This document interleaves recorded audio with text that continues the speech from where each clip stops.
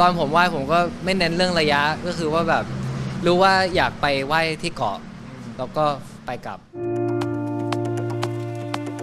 นี่คือภาพตอนนี้ว่ากี่กิโล ขาไป 15ขากลับอีก 15 ค่ะ เพราะเริ่มตั้งต้นจากอ่าวนางไปปอด่า 15 กิโล แล้วว่ายกลับอีก นี่ 15 กิโล รวมทั้งหมด 30 กิโล6คชั่วโมนงค่ะเดียวคนเดียวแต่ก็ต้องไม่คนเดียวมีเพื่อนคอยนั่งเรือแจวเรือไปด้วยแล้วก็ใช่คอยถ่ายคลิป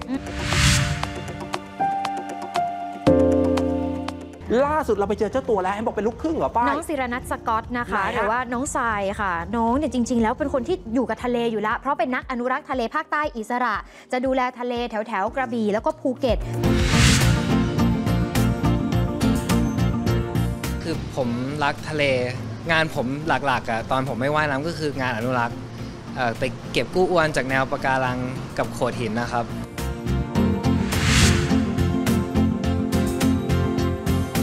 แต่ละคนมีจุดหมายไม่เหมือนกัน อย่าไปหยิบยกมาเปรียบเทียบใช่ไหมใช่เพราะบางทีค่ะสังคมเอาเขาไปเปรียบเทียบกับโตโน่เขาก็ไม่ได้คิดอยากคนจะละมาเปรียบเทียบกับเรื่องเลยใครเนี่ยนะครับอืมคนละเรื่อง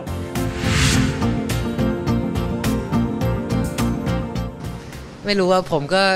ไปกระบี่วันวันหนึ่งก่อนหน้านั้น เราก็ตัดสินใจว่าโอเค ก็ลองว่ายดู เพราะมันเกิดปีที่แล้วผมได้ว่ายไป แต่ไม่ได้ว่ายกลับ แล้วก็ปีนี้ก็ได้แข่งขันในทะเลเยอะขึ้นนะครับ เลยตัดสินใจว่าอยาก อยากลองดูว่าแบบตัวเองจะว่ายไปกลับได้หรือเปล่า เพราะว่าถ้าเกิดผมทำได้ผมก็สามารถทำระยะไกลกว่านี้ได้ในอนาคตนะครับ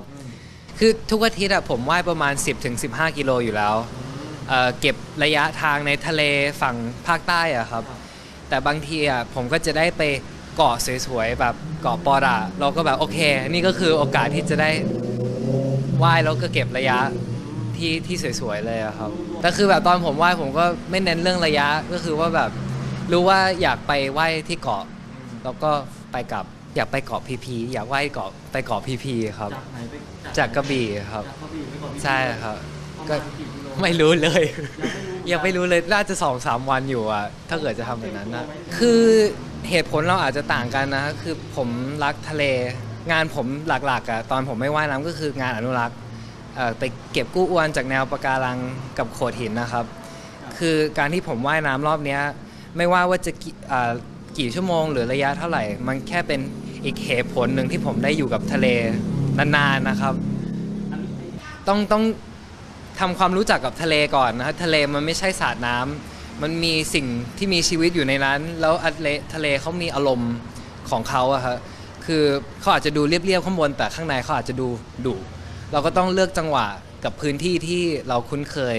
แล้วก็คอยมีคนอยู่ด้วยตลอดเขาไม่ต้องเป็นนักว่ายน้ำแต่เขาก็ต้องมีคนช่วยสปอร์ตด้วยในด้านเนี้ยครับ